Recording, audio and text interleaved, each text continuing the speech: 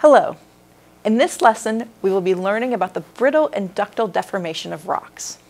An example of ductile deformation would be rocks bending to create anticlines and synclines. You'll learn more about these structures later in this module. But the first thing we will talk about is when rocks experience brittle deformation, when the rocks break.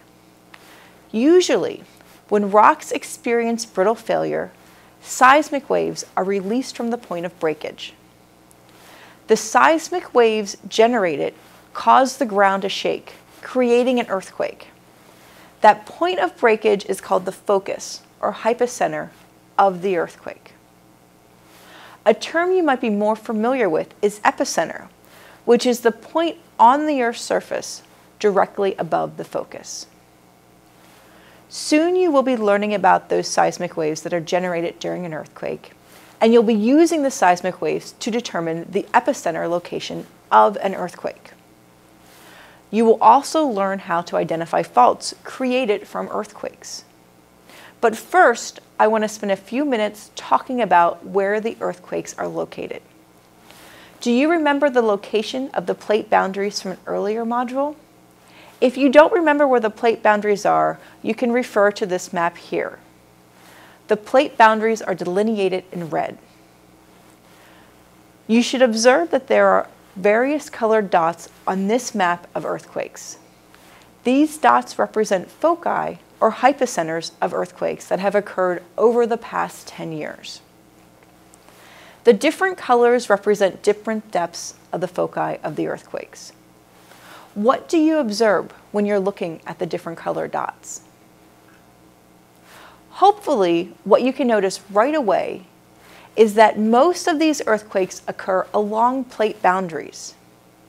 You probably also observe that many of these earthquake locations are red, signifying a shallow focus. You can find shallow earthquakes along all types of plate boundaries, including those that are converging, diverging, or transform plate boundaries. Different colors, signifying mid-depth to deep earthquakes, are mostly found along the edges of the Pacific Ocean and are associated with a subduction zone.